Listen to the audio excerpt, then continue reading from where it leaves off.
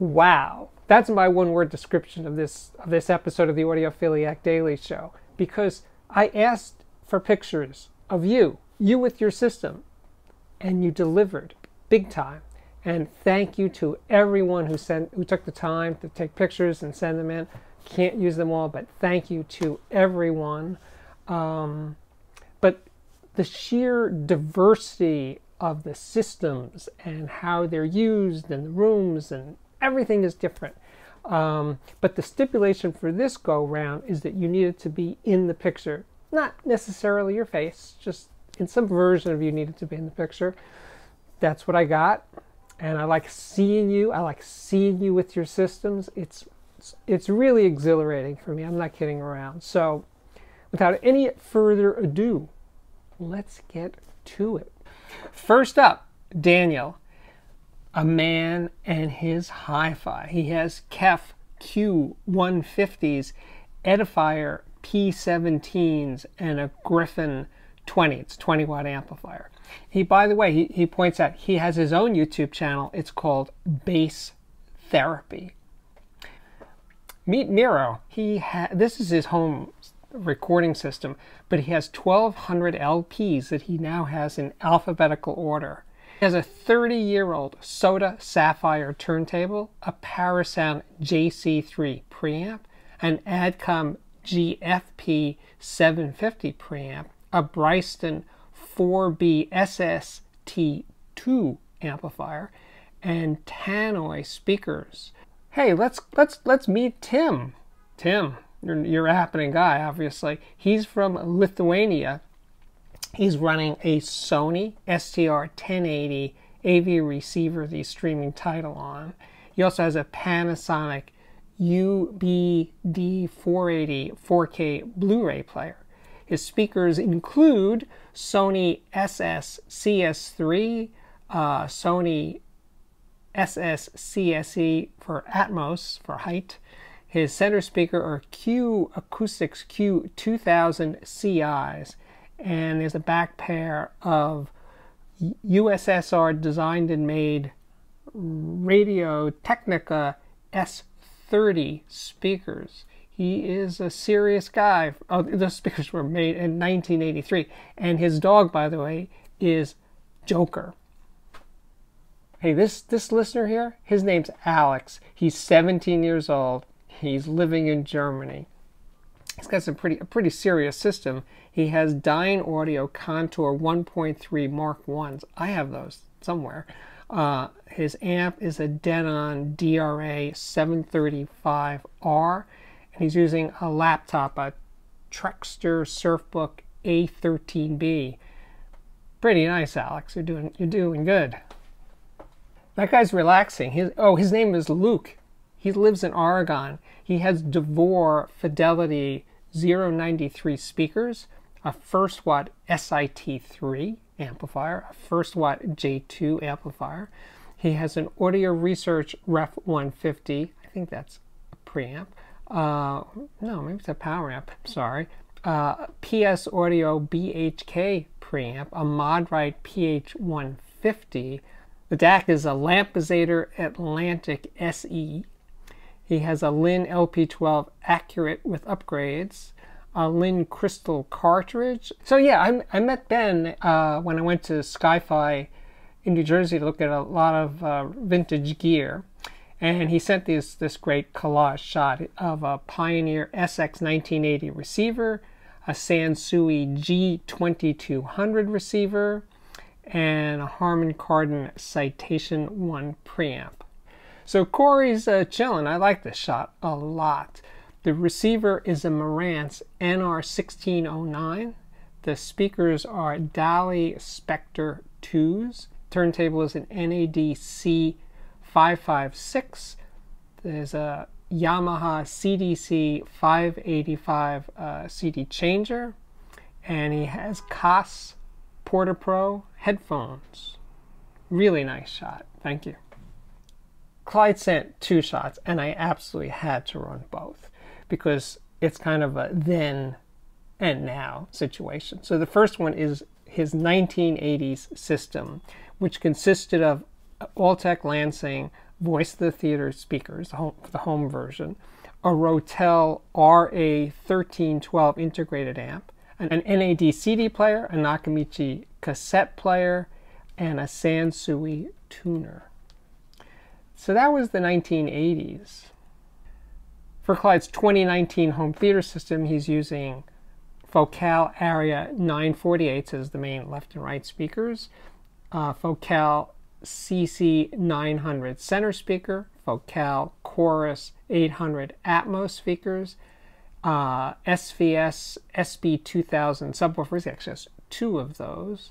Um, there's a Audio GDC1 Master Monoblock amp, there's two of those. Uh, there's also a Yamaha CXA 5200 preamp processor, a Panasonic 4K EX780 TV. When I got this picture from Lance, I wasn't sure where he was. He assures me that he's in the reflection in the top, whatever that is, the, the TV or window. I'll take your word for it that you're there. But he, Lance is running a Musical Fidelity New NuVista M3 integrated amp, a Musical Fidelity TriVista 21 DAC, an Acoustic Research fully modded turntable with a Denon 304 cartridge. There's an Oppo UDP 203 uses a transport and a 4K player. The speakers are Vandersteen 2CE signatures. There's also a Vandersteen VCC1 center channel. There's a Velodyne HGS12 sub. Okay, Alan, I like where, where you positioned yourself in that picture. He has a Marantz PM11S1 integrated amp, a Marantz SA8005 SACD CD player, a Marantz NA6006 network streamer.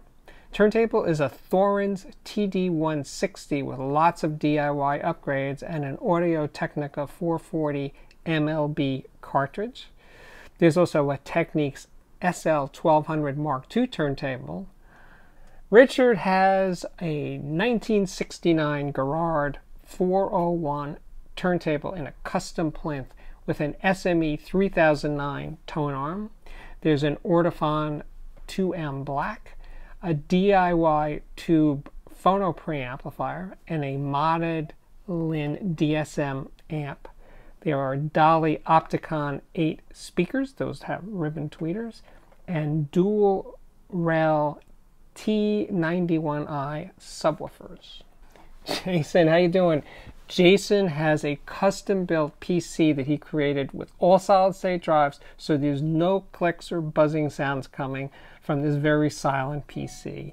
He's using uh, Schiit Modi 3 DAC, and he has PreSonus 4.5 studio monitors. Um, he's he's digging his sounds. Hey, Devon, how you doing? He has Revel 208 speakers, an LG OLED 65-inch TV, a Rotel A14 amp, and he has headphones. He has Focal Elears and a Sony Blu-ray player. Luca sent two pictures. This first one is, is of his two-year-old son Carlos staring into the reflection of a McIntosh MC2105 power amplifier. Uh, there's also a Schiit Saga preamp. The speakers are ELAC Debut B6. There's a phono preamp, uh, Mani. Turntable is a Pro-Ject Essential 2. For digital, he's running Chromecast to play Tidal through a Schiit Modi DAC. So he's saying, fear not for the future. He's 28 years old. His son is two years old, very involved in audio. Thank you guys for sharing. That's Mike. He's got a Pioneer 15 inch CS G403 and a 1980s Pioneer RX 511 receiver and a pair of Cerwin-Vega VS 150s. Pretty cool. What do we got here, Lucas? Lucas is 21 years old. He's also from Germany. He has B&W 686 S2 speakers driven by an Onkyo TX 7600 integrated amp. He has a Marantz CD38 and an Onkyo CP 1200A turntable with an Ortofon Sonor cartridge. Uh, he likes to mix vintage and contemporary stuff. David. David is a home theater guy, clearly. He's running a Denon AVR X8500H receiver, but he also plays records. He's got a Technics SL1700 from about 1976 with a Shure M35C cartridge. Let me tell you, David has a lot of uh, PSB speakers. But I'm gonna, get, I'm gonna hit the high points here. The, the front speakers are Imagine X2T. He's got Atmos speakers from PSB. He's got a PSB Center and PSB surrounds and height speakers. Whole lot of PSB going on there. And the subwoofer is, of course, a PSB. It's a sub 200. And the TV, in case you were wondering, is an LG 65 4K 3D. Whew, nice going.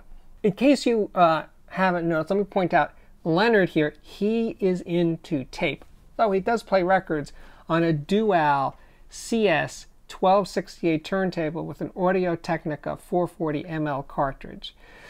And he has a Cora phono preamplifier and uh, an Adcom GFA 5400 power amp and a Sherwood EQ 200 equalizer. He only uses that for poor uh, recordings. Uh, but he has, here we go for tape. He has a Harman Kardon CD 401 cassette deck, two TEAC Z6000 cassette decks, a Nakamichi 6A2ZX, a Technics RS-B905, there's a mini disc player, a Sony MDS JE320.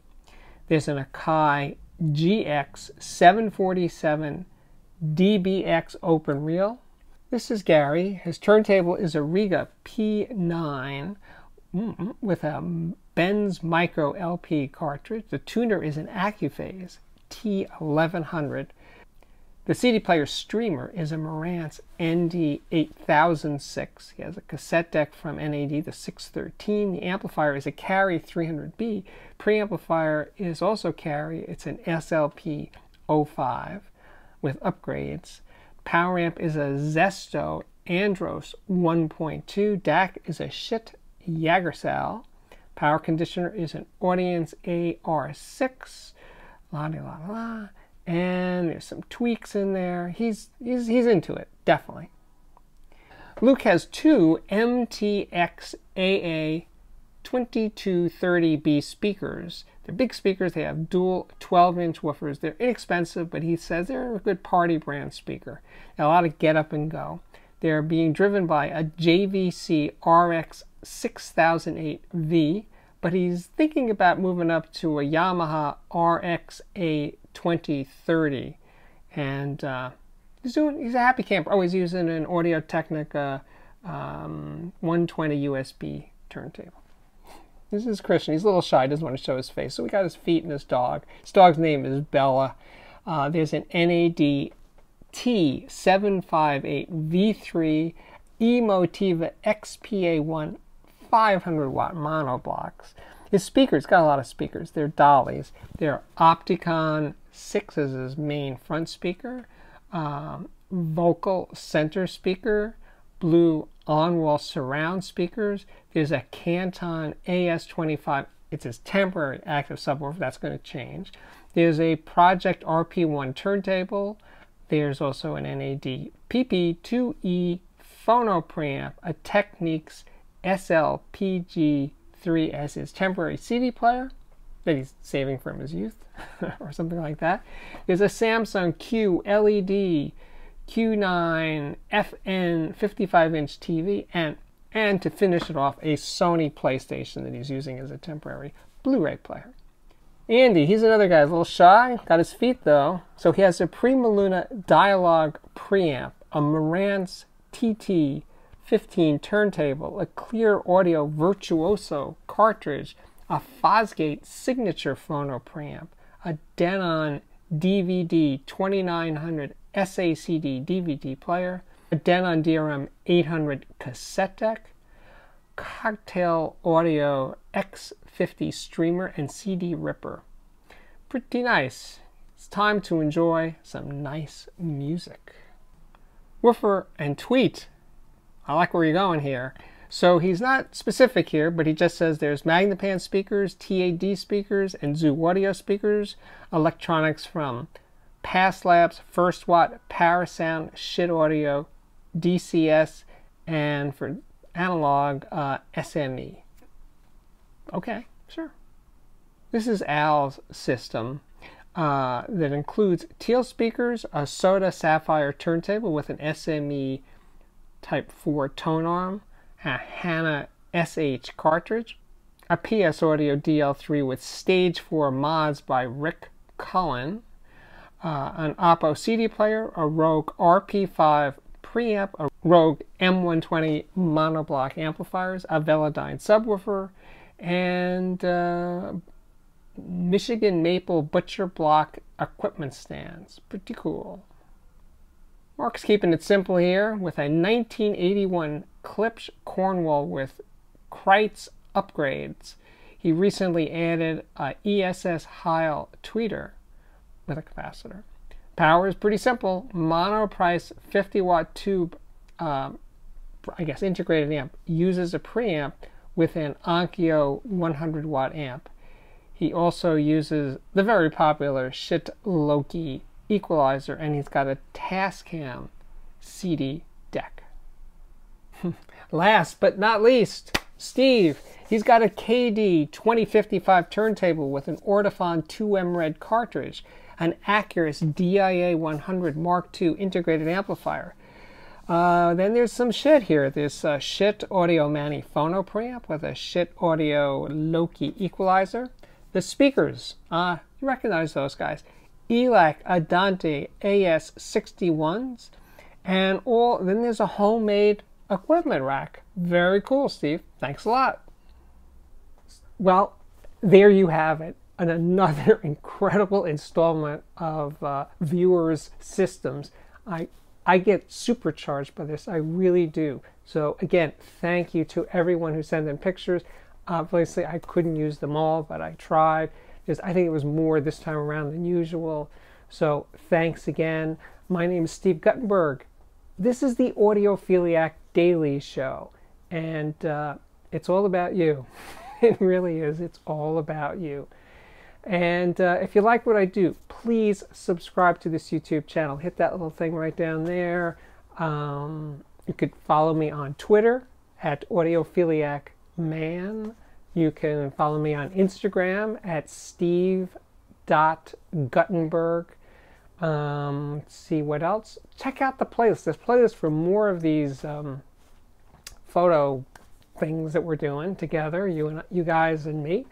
There's three other episodes, or four, I'm losing track. Um, there's playlists for headphone reviews and speaker reviews and amplifier reviews and interviews. Tons of playlists. Please check them out. Hey, if you got this far, check out my Patreon at p a t r e o n dot com slash audiophiliac. Thank you again. Bye bye.